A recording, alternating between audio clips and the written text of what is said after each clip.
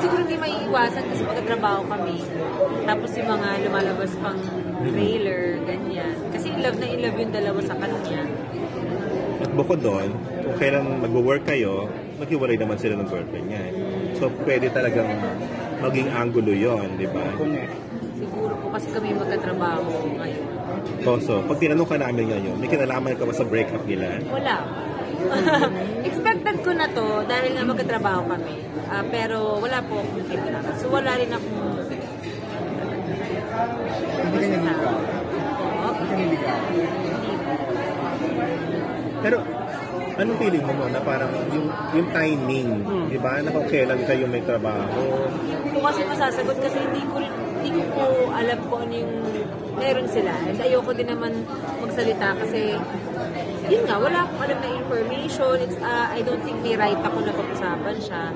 So, hindi ko po alam kung bakit, ganyan. Pero yun, I want to stay out of it. Kasi Ne- syempre focus ko na sa working relationship namin, friendship namin, and sa. So, never nyo na-discuss. Oo. Hindi po. siya never siya nag-open up ng Hindi naman. Ba't parang may narinig ako ano, Andrea, talagang halata raw sa inyong dalawa yung ano kay attraction ni Derek sa isa't isa. Eksena? Actually, yung una namin pong um, scene together, nung gumawa kami ng vlog for GMA na Summer Vlog. Mm-mm.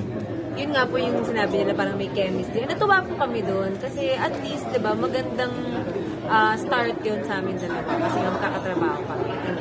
Ah, never ko naman siya na-meet before, never rin niya ako na-meet before. So, ah, for us, positive yun na may ganun silang nakikita sa amin. Pero meron ba talaga appeal sa'yo si Derek na pwedeng sa yung tipo ng guy na gusto mo?